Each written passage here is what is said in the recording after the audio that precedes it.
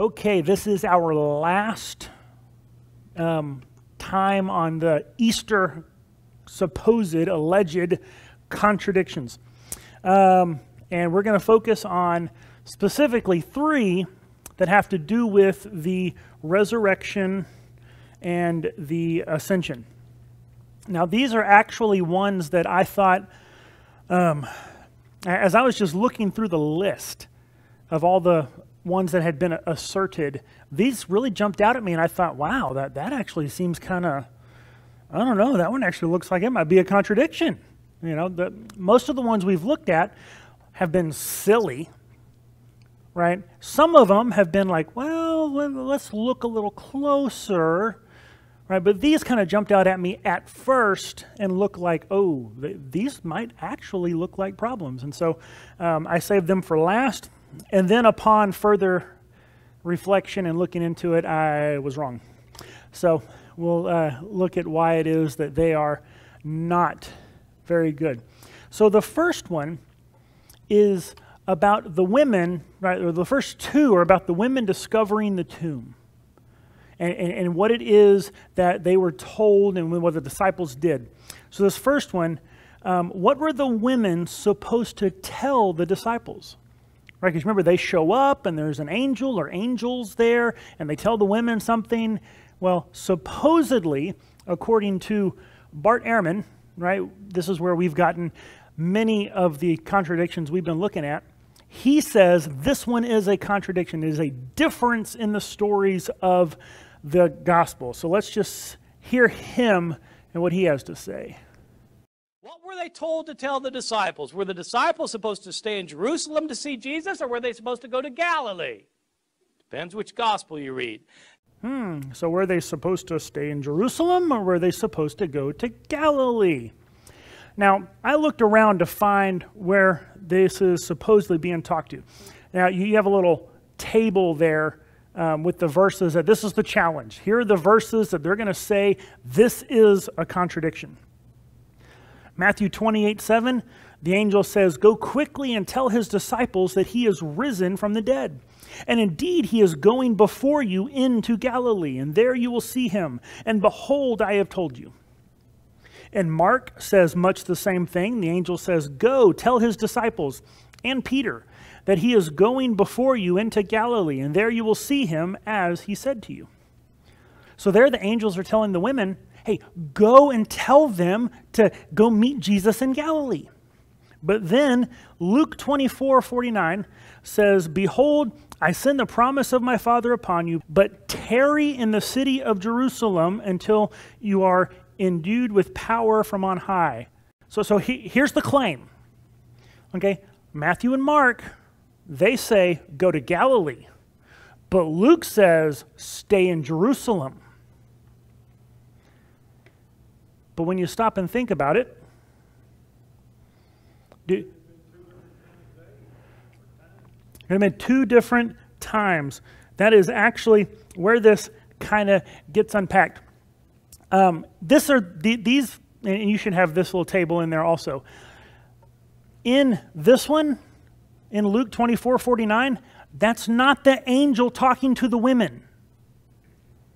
This gets set up as a contradiction and it's not even the same event. This is Jesus at the ascension telling his disciples to stay in Jerusalem waiting for Pentecost.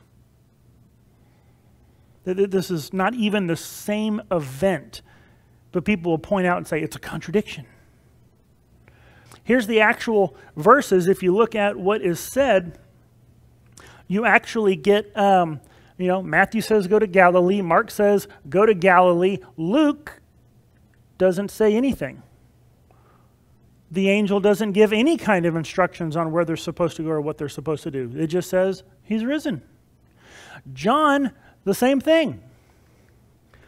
All the angel says to the says is recorded is he's saying to Mary, Why are you weeping? There's no instructions there to tell the disciples to go somewhere or do anything. There's no contradiction the verses that, and I, and I looked into this because I was like, well, that can't be it. And I searched several different websites and places where um, this uh, accusation is made. and they all pointed to the Luke passage that wasn't even the angel talking. It was Jesus at the ascension. Not a contradiction. And right here we have, side by side, these are the passages, and you have them right there on your sheet. These are the passages where the angels give instructions, give a message to the women. You can see for yourself there is nothing contradictory. Nothing. And yet, a top rated Bible scholar, Bart Ehrman, is going to say there's a contradiction. Did they do this or did they do that? It depends on which gospel you read. No, there's no contradiction. He should know better. You can look there for yourself. The next one. This one isn't so much about what the women were told, it's about what the disciples actually did. Did the disciples stay in Jerusalem or do they actually go to Galilee? Did the disciples ever leave Jerusalem? Or did they immediately, did they never leave, or did they uh, leave and go to Galilee? Depends which gospel you read. Luke chapter 24, verse 49 to 52. Behold, I send the promise of my Father upon you. This is Jesus talking. But tarry in the city of Jerusalem until you are endued with power from on high. And he led them out as far as Bethany, and he lifted up his hands and blessed them. Now it came to pass while he blessed them that he was parted from them and carried up into heaven, and they worshipped him and returned to Jerusalem with great joy. So Luke is just recording that they were in Jerusalem. He was talking to them in Jerusalem, visited and appeared to them in Jerusalem, and then he ascended to heaven and they went back to Jerusalem. Acts chapter 1, verse 4, also written by Luke says, Being assembled together with them, he commanded them not to depart from Jerusalem, but to wait for the promise of the Father, which he said, You have heard from me. So Luke and Acts, here's the part, it's kind of implied though. Luke and Acts make no mention at all of the disciples going to Galilee. Don't mention it. Everything that Luke records whether it's at the end of his gospel or the beginning of Acts, everything that Luke records has them in Jerusalem. He doesn't mention any trips to Galilee. Matthew 28 16. Then the eleven disciples went away into Galilee to the mountain which Jesus had appointed for them. Mark does not say where the appearances happened. However, back in verse six, uh, chapter 16, verse 7, they're told to go to Galilee, so you can kind of assume that's what they did, even though it's not specifically mentioned. John 21, verse 1 says, After these things, Jesus showed himself again to the disciples at the Sea of Tiberias, which is another name for the Sea of Galilee. Okay, so according to Matthew and John, and reasonably Mark too, they went to Galilee. But Luke says they didn't. Does Luke really say they didn't? Is that what Luke says? They have no mention of the appearances in Galilee. Does that mean they never went to Galilee? No. Just because he doesn't mention it doesn't mean it doesn't happen. The other three gospels actually mention it. That's a pretty good indication that it happened. And for whatever reason, Luke doesn't mention it. We've talked before about how uh, the ending of Luke kind of seems abbreviated. I mean, he's giving a ton of detail and then the last couple chapters just seem really rushed. And he just like crams a bunch of stuff in. Maybe he's running out of space. Maybe he's running out of time. I, mean, I don't know. But just because he doesn't mention it doesn't mean it didn't happen. The other three gospels tell us it did. There's no contradiction there. And again, this is one of those things where um, it, it's an oddity that these kind of things, all of the ones that we have dealt with through this series are things that um, high ranking, you know, high top, high, high, you know, credible, prestigious Bible scholars who are, you know, atheist, you know, skeptical Bible scholars will point out and go, aha, contradiction in the Bible. And people continue to just lap it up, despite the fact that it is easily shown to be wrong But these guys don't lose their credibility. I mean, we have looked at, I think this is 22, 23 different contradictions. And 12 of them, I believe, were from Bart Ehrman. How many times does he have to get something wrong before you start going, oh, wait a minute? Maybe I shouldn't listen to this guy. But does he lose credibility among skeptics? No, he does not. Whereas, you know, if you had a preacher, if you had a Christian guy, uh, you know, who got made some mistakes, every mistake they made is going to be a discrediting offense in the eyes of non-believers. You can kind of see a little double standard going on. Um, no, he he is. Um, he grew up, he, he was raised in church, he grew up evangelical. I think he actually, um, I don't know if he was studying to be a minister, but he went to Bible college. You know, I mean, he, he was studying the Bible, and then he had a teacher that pointed out um, uh, a, a, an issue, an error, a discrepancy, a difference, or something. And, and that just kind of sent him down a spiral of, oh no, these things are wrong. And I believe the one that got him was actually one of the ones we've already looked at and saw that it was nothing. But he would call himself an agnostic. Um, but he's written several books specifically against and opposing the Bible. But what's interesting is he'll say things that lead you, like imply, well, you can't trust the Bible. Oh, well, we don't know what was written. Right? He'll compare it to the telephone game. Right? We all know that game where you whisper something to the next person and it goes around the down the line around the circle, and by the time it gets to the end, it's nothing like the beginning. I've actually seen him in debates refer to the transmission of the Bible, copying of the Bible, to the telephone game. He knows better. This is exactly his field of study. He knows that's not true.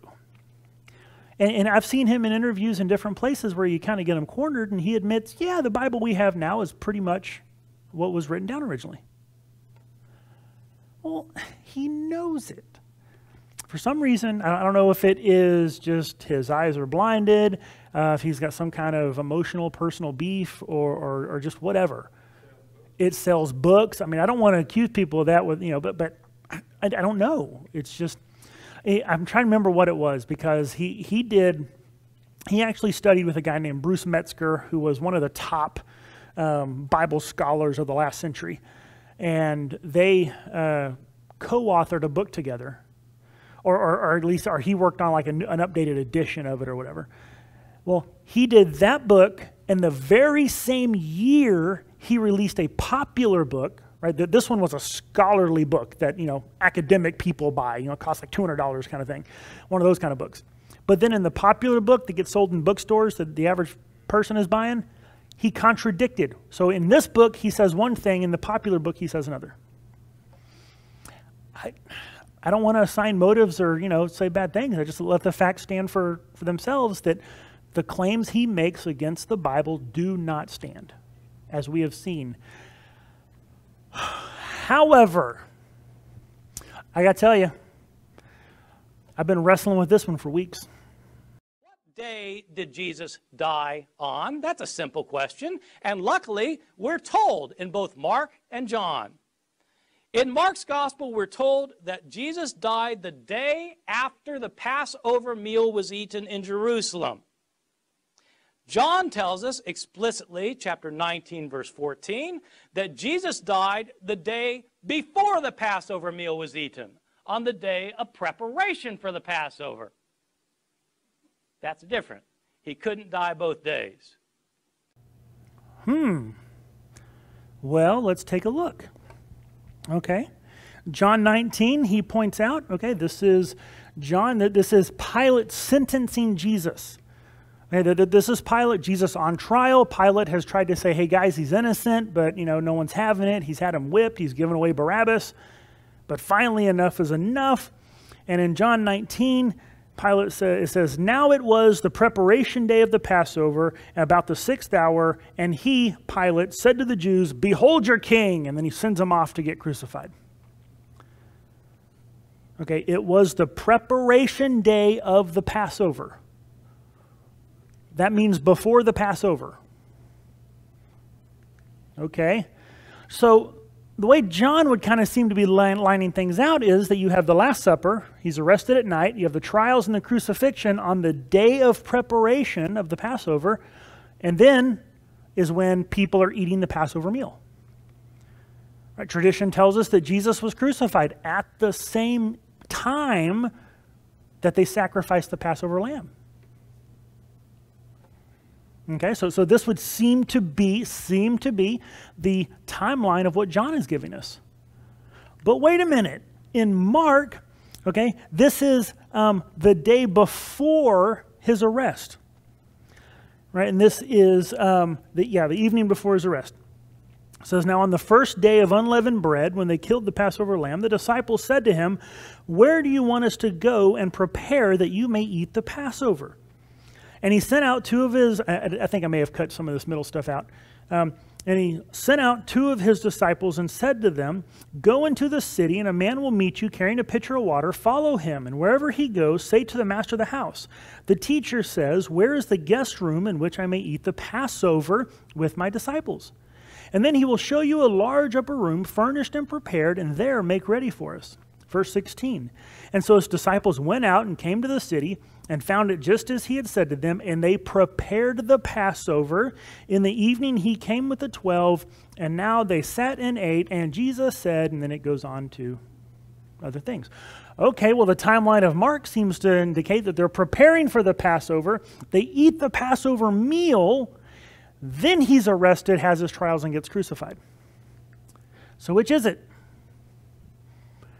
Before or after the Passover meal?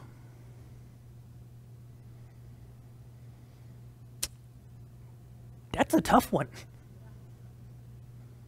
This is one that, and, and, and, and, as I was looking through it, about every time I, got, I thought I had it nailed down, I'm like, okay, here's what it is. I'd read something else and go, oh, maybe that's not what it is. What is the answer to this conundrum? Right? Well, what are we going to do with this? Okay. What's that? Somebody had an early Passover meal. That is actually one of the, um, there, there's several popular ideas about how to do this. One of them is it was an early Passover meal. Uh, that, that because he knew that he wasn't going to be around for the formal official Passover meal, they did it the day before. So he could have the Passover meal with his disciples. Well, you know, maybe but there's some other things that that kind of goes, well, I don't know, what about this? What about that? Um, some people say that um, the, the, the day of preparation wasn't actually the day of preparation for the Passover, that the day of preparation was actually preparation for the regular Sabbath. It just happened to be during Passover. So it wasn't the day of preparation for Passover, it was a day of preparation for a regular Saturday, it just happened to fall, you know, within Passover season, right? There's all kinds of different things people have uh, tried to put forward. And as I would look at them, I'd see one, I'd go, huh, yeah, that makes sense. And then I'd read something else and go, well, maybe it doesn't quite make as much sense as I thought. Let me ask you this When is Passover? Do you even know? Right, the, the Bible actually tells us quite a few things.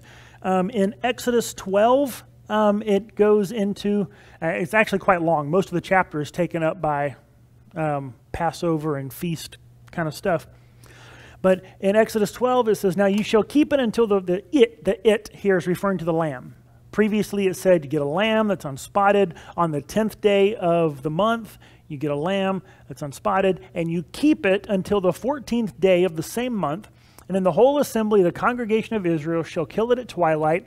So this day shall be to you a memorial, and you shall keep it as a feast to the Lord throughout your generations. So the 14th day of the month. Okay, first month of the year, 14th day of the month. Okay? Uh, Numbers says the same thing. On the 14th day of this month at twilight, you shall keep it as an appointed time. And they kept the Passover on the 14th day of the first month at twilight. 14th day. All right, seeing a pattern here. Leviticus 23 on the 14th day of the first month at twilight is the Lord's Passover. Okay, so Passover is on the 14th. Here's the question What day was Jesus crucified? Would it have been the 14th? Maybe the 15th? Okay, well, what year was it? Because that, whatever year he was crucified, that would tell you the day of the month, wouldn't it? Because Passover is a floating holiday, right? Like it, whenever it's on a specific day, it changes the day of the week. You know, like Christmas, December 25th, it's not always on the same day of the week. So we could actually look, you know, if he was crucified on a Friday, what year would that be? We could look into that. Some people have different arguments. Was it a Friday? Well, maybe he was crucified on Wednesday. That's actually a popular theory that he was crucified on Wednesday. And so, depending on what year you calculate that his crucifixion, this might actually affect when the 14th was.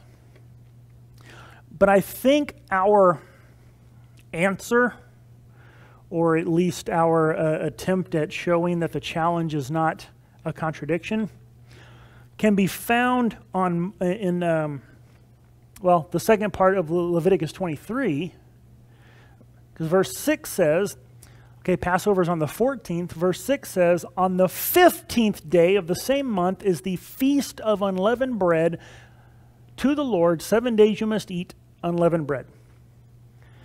So, so, so here, if you look in the Old Testament, here's the deal.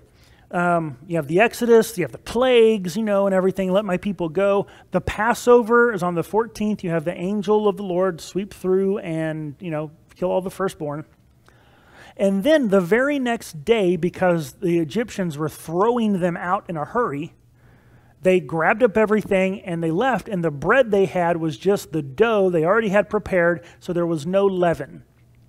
And so you have Passover, which celebrates the actual Passover of the angel, and then the Feast of Unleavened Bread, which is a seven day feast, commemorates the actual journey out of Egypt, the flight from Egypt.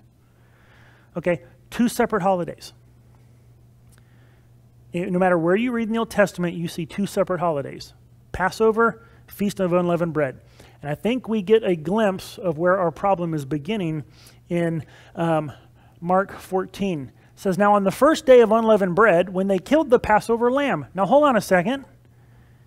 When is the Passover lamb killed? On Passover. When's Passover? The 14th. When's unleavened bread? The 15th. Okay, somebody's confused. Because Passover is not the first day of unleavened bread.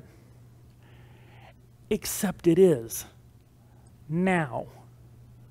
If you actually look at the way that Jews celebrate the Passover, today, to, today, the way Jews celebrate this is they, there's one there's one seven day feast. They call Passover, and it actually starts on the 15th.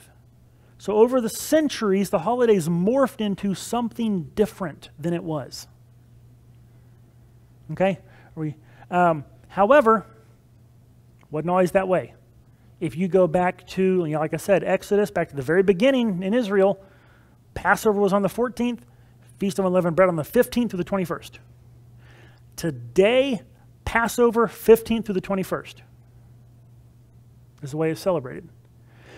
However, that wasn't always the way. It changed at some point. Josephus actually mentions that they keep a feast for eight days, and he says it is called the Feast of Unleavened Bread.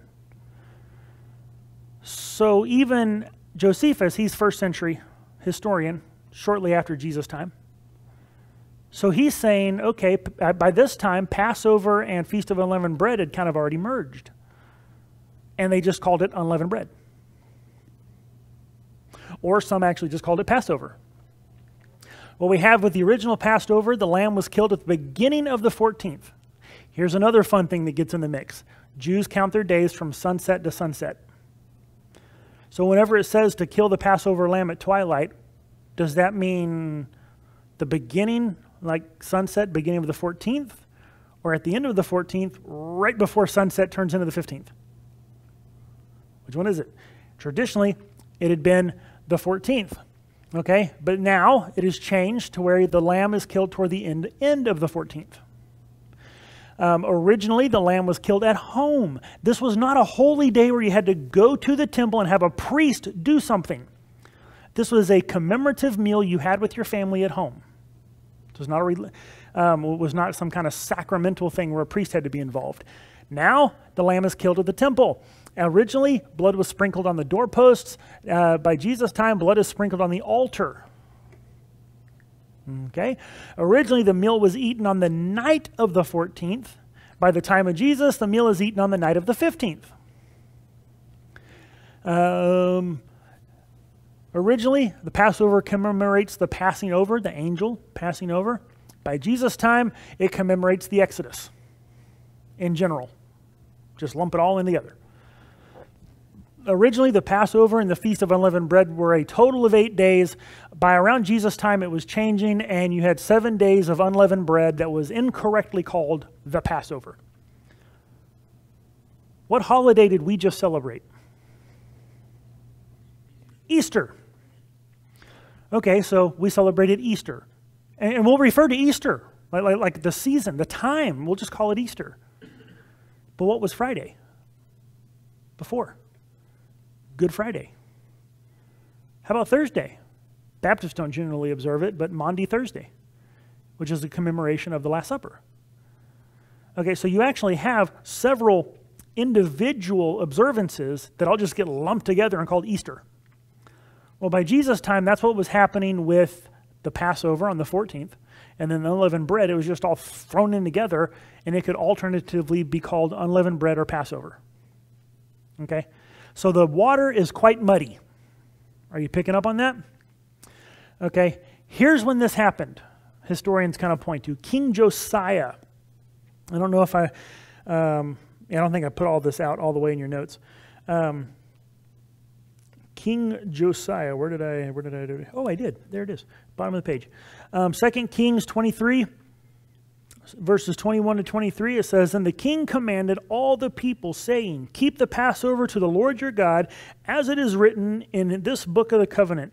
Such a Passover surely had never been held since the days of the judges who judged Israel, nor in all the days of the kings of Israel and the kings of Judah. But in the 18th year of King Josiah, this Passover was held before the Lord in Jerusalem. King Josiah was a reformer. He loved God. He pulled Israel kicking and screaming back into the observance of the feasts and worship of God. They cleansed the temple. He tore down idols. He tore down other um, altars to false gods, and he reinstituted observances of the law.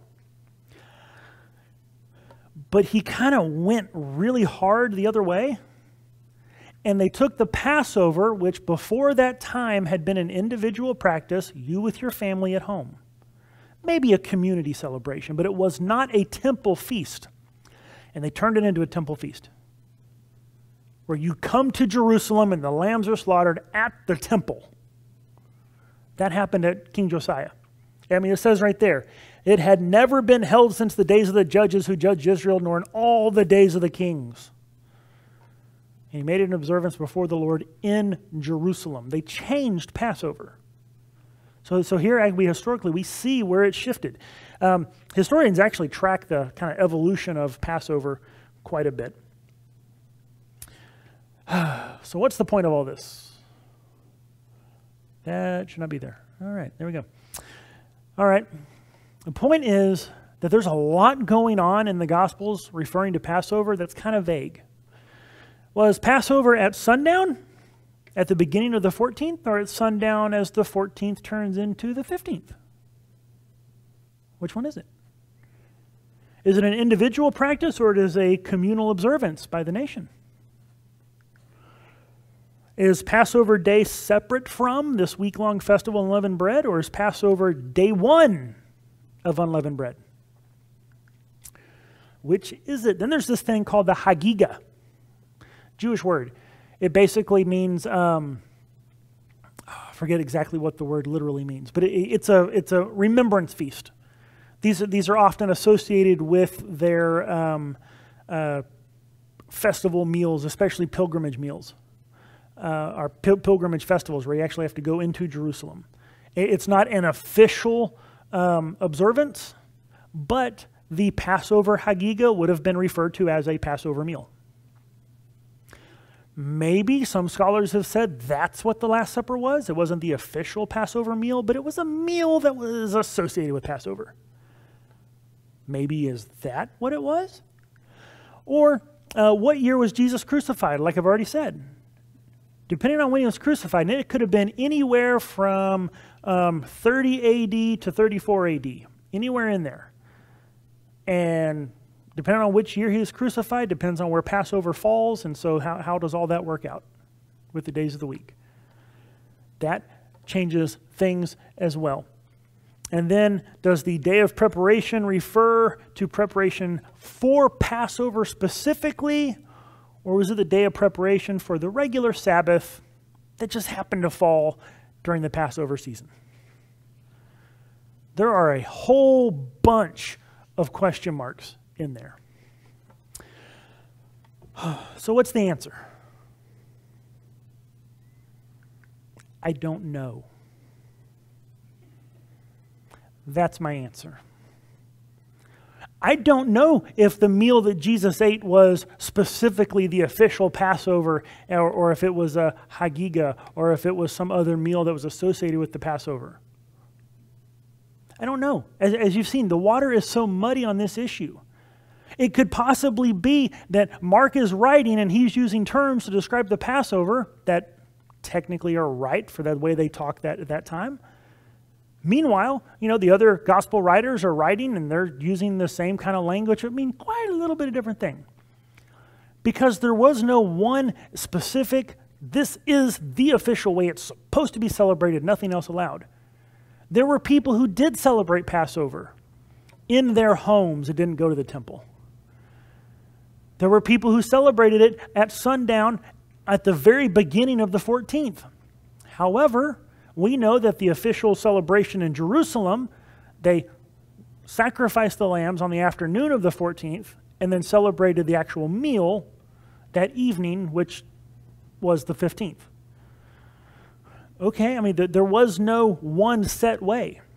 So, I mean, it's possible that one gospel author is referring to one thing when he says Passover, another gospel author is referring to another thing when he says Passover. Okay, all of this is mixed in. And here's what I want to leave you with when it comes to this. Because, like I said, my answer, I don't know. But it's okay to not have all the answers. It is. It's fine. Not knowing exactly how to unravel this mystery does not undermine the Bible at all. And that's really what critics and skeptics are getting at whenever they bring up these contradictions is they want to say, "Aha, it's an error. You can't trust that Bible. It's not the word of God." But here's what I know. If kind of the, the waters of the definitions of what's being talked about around Passover are so muddy, I can't really find an answer. Guess who else doesn't have an answer? The critic who's trying to claim that there's a contradiction. He has no more an answer than I do in order to point at a contradiction because he would have to be so sure and so certain and so definitively set in his definitions beyond doubt in order to prove that contradiction. But he can't. He can have some ideas, he can make a case, but ultimately, historically, the issues around the Passover and what's called what and when things happened are so kind of foggy through the you know lens of history. I don't know.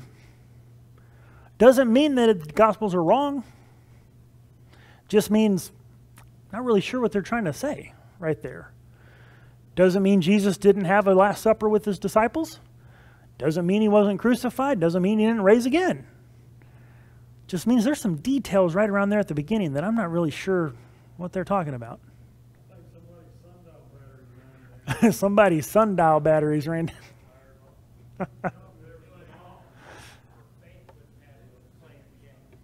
What's that?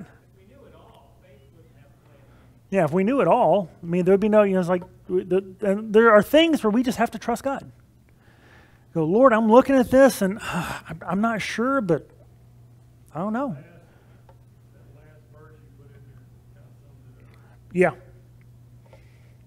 And, and that's another thing where, where it's like, I, I think that we need to remind ourselves, and I know I need to remind myself because I actually try to get out there and engage with skeptics and critics and non believers who try to give challenges and stuff is you know what? Sometimes you just need to avoid foolish and ignorant disputes, knowing that they generate strife. You know, is this a contradiction? No. The case cannot be successfully made that this is a contradiction. So, what's the answer? I don't know. But I'm not going to argue about it. It won't solve anything. All it will do is generate strife. But what I do know are the challenges that I can actually get to an answer, they fail every time. This one, you know what? There can be a mystery box. There can be things that we look at and we go, uh, I don't know. It's okay to not have all the answers. But based on the fact that the answers I do have continually over and over and over point to the truth of the Bible,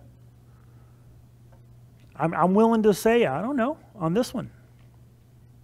So, and that wraps up this. You know, and, and I think that there's something that we need to keep in mind when it comes to these kind of issues is that these challenges come, as I said, with, for an express purpose. Okay, these aren't just trivial matters that people bring up. Whenever a non believer, whenever a skeptic or critic of Christianity brings up a contradiction, his point or her point is that if this is an error, your Bible's wrong. Well, guess what? It's not an error. As we've seen, even on this little narrow window, not an error. And most of them, most of the things that they're going to point at and say, look at that error, look at that contradiction, are so silly that they themselves are the ones who need to be ashamed uh, uh, of buying into such a thing. I, am actually kind of, you know, as I've been going through this, um, th- there have been some scholars, you know, like the one we showed, and some others that I've read that, that say these things, and I'm just thinking, come on, man, you, you of anyone should know better. You study this for a living, but yet they just say it so matter of factly. Yeah, pride. They want to be the one that's right. Or it sells books. You know? I mean, if you write a book, if you write a, a top notch scholarly academic book showing that the Bible is reliable, no one cares. You write a book full of garbage claims saying the Bible's false, you're rich overnight. That's just kind of how that goes. So, I mean, I don't, I don't want to assign um, unscrupulous motives to people I don't know. Maybe they really are just their thinking is so blinded by you know, their sinfulness and their pride that they just really don't see it. They actually think these challenges undermine the Bible.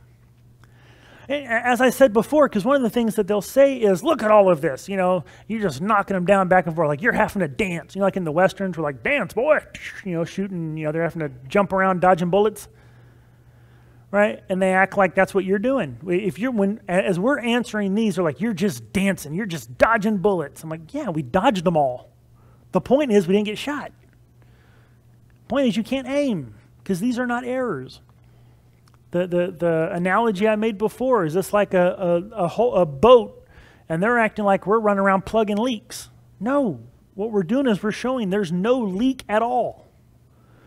And they're trying to say, there's a hole. And where? There's no hole, there's no leak. That wasn't an error.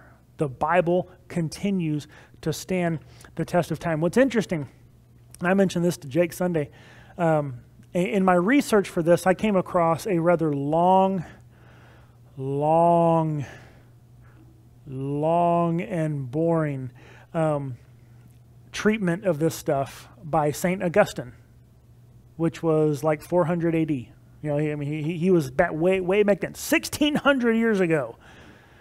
One of the smartest theologians and scholars in church history actually went through, and most of these things I found he had addressed. 1600 years ago, these things were answered. But yet, they're still out there, and there are still people who say, Ooh, look at this contradiction. Eh, do they, I've said this before, do they really think that in 2,000 years they're the first person to think of that? Nope. Old news, long since proven not to be an error, and that the Bible is indeed reliable. So, that's all I've got. Y'all got any questions?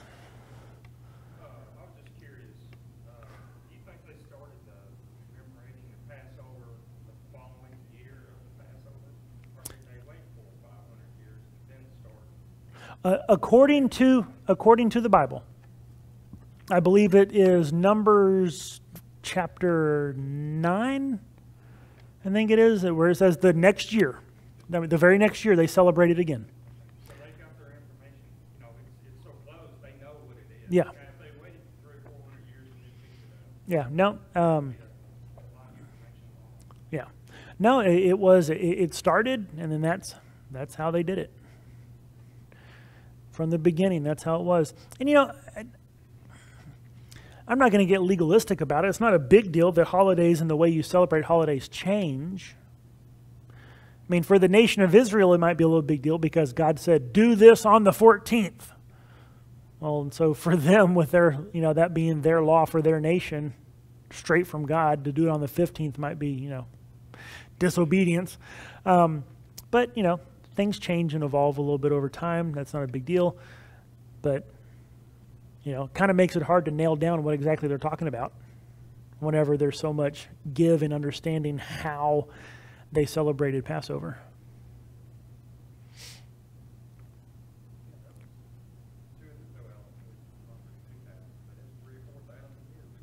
Yeah. Yeah, in Exodus, depending on how you date that, it was about 3,500 years ago. 36. Yeah. Yeah, that was a long time ago. Yeah, yeah, I'll have to go look at that. We'll go look at that. Yeah, yeah, that one's 100% right. No, I, no, that, I've, even read some things on there that I'm like, uh, don't know. That's exactly when I would put that, but good, good. All right. Well, I'm done. Y'all done? Let's pray. Father God, we thank you again, Lord. I just ask that you would help us to, to know and to understand the truth and the reliability of your word, that it stands the test of time, no matter what critics have thrown at it. It continues to show itself to be true. Help us to understand that, that we might put a priority on knowing it and living what it says. In Jesus' name, amen.